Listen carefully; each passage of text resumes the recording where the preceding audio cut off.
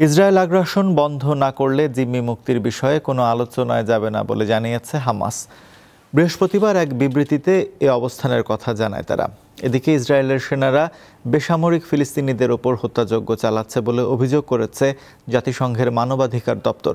অবরুদ্ধ গাজা উপত্যকার পাঁচ লাখ ছিয়াত্তর হাজার ছয়শো জনেরও বেশি মানুষ বিপর্যয়কর ক্ষুধার সম্মুখীন বলে জাতিসংঘের আরেক রিপোর্টে বলা হয়। আর গাজার সমগ্র জনসংখ্যাই তীব্র খাদ্য নিরাপত্তাহীনতায় রয়েছে বলে integrated food security phase classification IPC রিপোর্টে বলা হয়েছে।